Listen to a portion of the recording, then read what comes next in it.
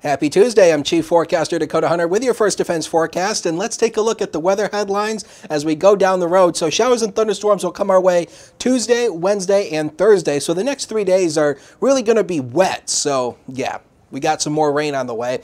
And uh, mainly today and Thursday, a couple of those storms could be strong to severe. And uh, the main threats mean they're going to be some gusty winds and some heavy rain. The 80s go away and the 70s will return as we go into late week. The average high this time of the year is 79, and uh, we're going to be right below it uh, for the next several days. But another fabulous weekend comes our way. So, again, we've had a good weekend the past couple of weekends, and it looks like that's going to continue for this weekend. NOAA Storm Prediction Center has the entire region under a less than average marginal risk. That's all this dark darker green. That's a level 1 out of 5. That's the lowest end severe weather threat. Now, that's for this afternoon. Now, the SPC also has us under a marginal risk again for much of the area, for, I should say, at least much of the southern tier on Thursday. Now, they also have included a standard slight risk. That's this yellow shade down here for northwest PA.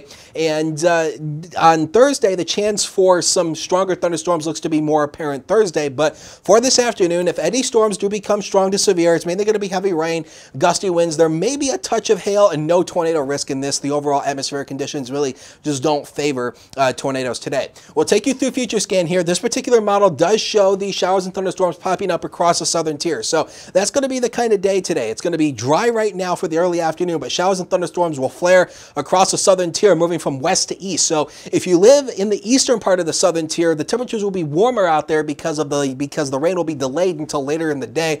Uh, the rain will continue tonight, going into tomorrow, and then tomorrow almost a rinse and repeat of today. Scattered showers and thunderstorms will pop up through the afternoon hours. And then as we head into Thursday, the chance for thunderstorms still remains basically in the cards for the afternoon. And some of those could be strong to severe uh, with some gusty winds as well. So mostly sunny early this afternoon. Storms fire pretty much across the southern tier uh, as we head throughout the afternoon. Um, a couple of them could be strong and the humidity is up there. Once again, 77 to 85 is the high temp range. West-southwest wind averaging 8 to 16 miles per hour. Tonight, mostly cloudy. Scattered showers and thunderstorms will continue throughout the overnight. Mild and muggy, 62 to 68 southwest wind averaging around 10 miles per hour. Up on the seven day here, 75 on Wednesday, but it's not going to feel like it. The humidity way up there, so it's going to feel a lot more warmer than that. 77 Thursday, again, there's the chance for strong thunderstorms on Thursday, but as we head into Friday and the weekend, we cool it off with another cold front, which means cooler, uh, which means cooler temperatures, lower humidity, and dry weather Friday through next Monday.